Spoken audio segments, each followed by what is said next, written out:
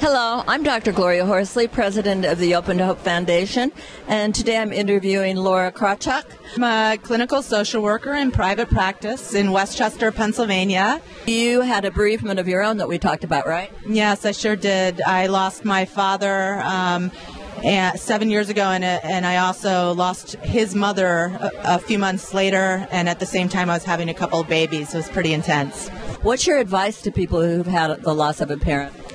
Uh, I would find someone to listen to the story and the impact, uh, whether that's friends who can really deeply listen and not give advice about how to quickly heal, which isn't realistic, or it's a professional or a trusted clergy, but speaking to someone and telling your truth and honoring the pain is hugely important to find that healing. Right, because people uh, kind of say, well, uh, it's a parent, right? It's not, you know, a big deal. We've all lost parents or what, but it is a big deal. It's a huge deal. Um, it's it's for some people it's life life altering.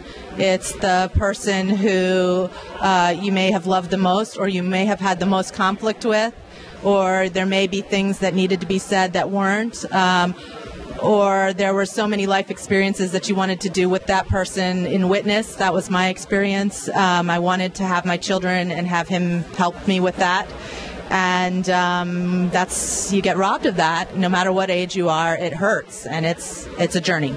So I think maybe one of the major things that we can tell the people is that you you should honor your loss. It, it is a loss, you know, you know, and uh, it needs to be honored and dealt with, and telling the story, and then finding safe people to talk to about it, right? Because not everybody can hear.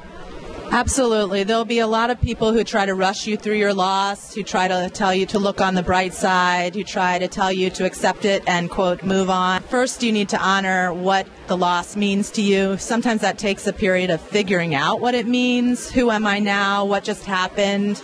Um, I, I, found it, even though I'm in this field and I've been in this field for a long time, I found it quite shocking how long that process was and still is on not on a daily basis anymore, um, and that healing in six months or a year is just not realistic for most people. So to honor that and to find someone who can support you along that journey.